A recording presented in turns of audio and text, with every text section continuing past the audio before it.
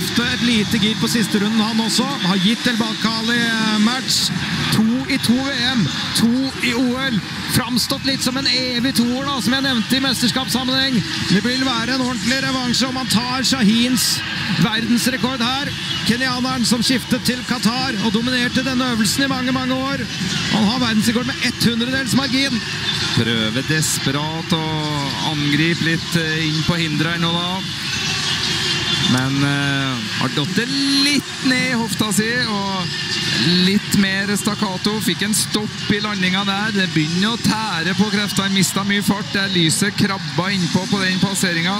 Sandnes siste vanngravpassering for en runde siden. Den kommer nå. Ja, det grønne lyset det kommer nærmere. Jeg syns fortsatt det har litt å trøkke med oppover vannhinderet her.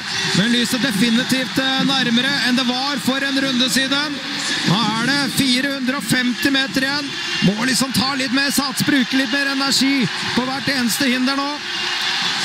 Men en spurtrunde skal han jo ha litt å gå med. Det var her det sprakk for El Bakali i Rabat. Nå er det erkerivalen Girmas tur til å prøve seg. Ja, Det er kult at det er to løpere som eh, kjemper om å slå verdensrekorden på hinder. De gjør det foreløpig hver for seg og ikke i samløp, da. Men nå er det litt lite skyv her. Nå har rumpa datt litt ned. og og skyver litt mindre fra i hvert steg, men skjerper seg mesterlig her, da. Henter ja, noen centimeter på lyset! Han stikker fra lyset Ja, igjen! han stikker litt av gårde igjen, gjør ikke det, da? Verdensrekord nummer tre.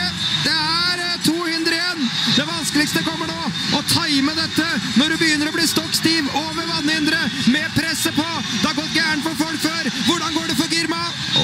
Blir drama. Ja, han safer der. Ja, han Uten sikrer at han taper veldig mye på det. Ja, skal vi ikke ha en Evan Jager som falt mot en supertid i Paris for noen år siden på det siste hinderet? Girma, kommer han seg trygt over? Ja!